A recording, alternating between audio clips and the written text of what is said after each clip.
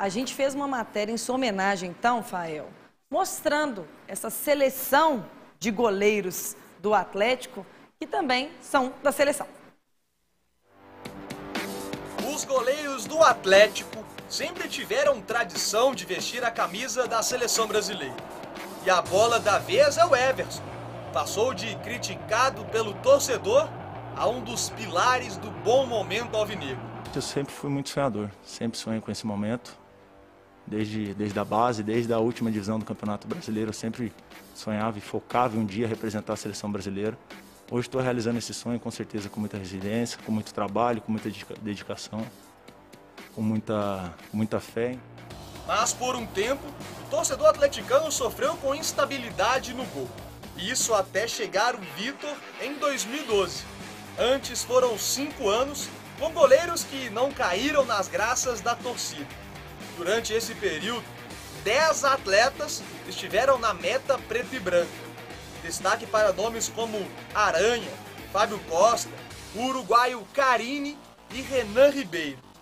O último goleiro que teve estabilidade foi Diego Alves, que deixou o Atlético em 2007 para ir para a Europa. Para um time que teve na história João Leite, Tafarel, Veloso, esses anos foram de frustração.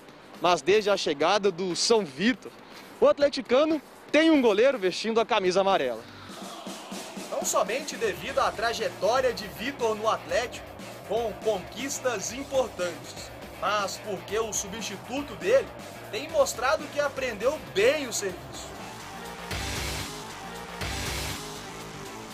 apesar de ter sofrido duras cobranças por parte da torcida no começo da passagem pelo Galo, Everson é atualmente um dos destaques do time, com defesas importantes que salvaram a equipe.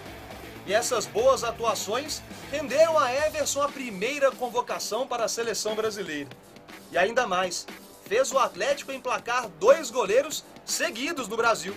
A última vez foi exatamente quando Tafarel deixou o clube em 1998 e Veloso ocupou a posição em 99. Por falar em Tafarel, para o Everson trabalhar com o ídolo alvinegro na seleção é muito especial. Estou tendo um prazer de estar trabalhando com o Tafarel, um goleiro histórico para a seleção do nosso país. A primeira conversa foi muito boa, me deixou muito à vontade e estou a cada dia mais procurando aprender com ele no dia a dia para que eu possa possa continuar fazendo minha grande história no Atlético e dar continuidade aí nesse meu sonho aqui com a camisa da seleção.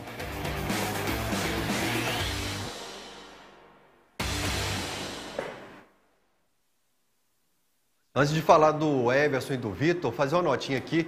João Leite, em 5 de março de 78, pega dois pênaltis ali. Era para ter sido um grande herói daquela conquista. A parte dele, ele fez. E é injustiçado demais por críticas é, daquele gol do Flamengo no Maracanã. Enfim, seguindo a linha do tempo, Tafarel também, que foi responsável por arrastar muitos fãs.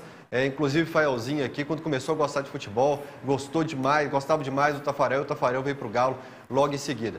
Sobre Vitor, o Vitor não precisa falar o monstro que é, vale a discussão sobre estar, ele, a posição dele no pódio entre os três maiores da história. Ídolo, santo. Existe aquela diferença dos melhores da história e os maiores da história. Alguns é, que você pode questionar pontos tecnicamente, mas fizer os feitos foram gigantes. O Vitor é um desses casos. O Vitor tinha suas dificuldades técnicas de reposição, de bola, né? Ele jogava aquela bola lateral do Galo na veia. O Everson é um grande camisa 10 também, além de ser um grande goleiro. Lança, reposição, a saída de bola do Everson é perfeita. E o Cuca foi muito esperto. O Cuca trouxe o Vitor que era o, o, dono do vestiário, quando aposentou, falou: senta aqui do meu lado, quando eu precisar controlar o vestiário, você resolve isso para mim. O Vitor continua na história do Galo, é gostoso demais ele vibrando, ele pilhado o tempo todo no banco de reservas e ele pode passar sim muito pro Everson, que eu acho que tem tudo para escrever uma grande história aqui, principalmente agora que a torcida parou o efeito manada de internet de às vezes nem saber por que está cobrando, mas se está todo mundo cobrando, eu vou repetir isso aqui. Everson, estamos contigo, grande goleiro, que você escreva uma história tão campeã de, de colecionador de taças como foi a do Vitor.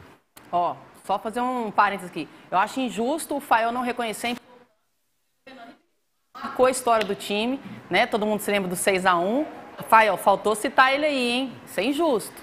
É, não caiu naquele dia, mas caiu na hora certa, caiu para não voltar nunca mais. Toledi tá rindo ali. Toledi, você tá querendo o Cavicchioli na seleção também, Toledi? Ah, não, deixa ele quieto no América mesmo. O América agora conversou com a CBF e nós não vamos ceder jogadores nem para a seleção brasileira, nem para outras, nenhuma outra seleção da América do Sul, porque estamos concentrados no brasileiro. Inclusive.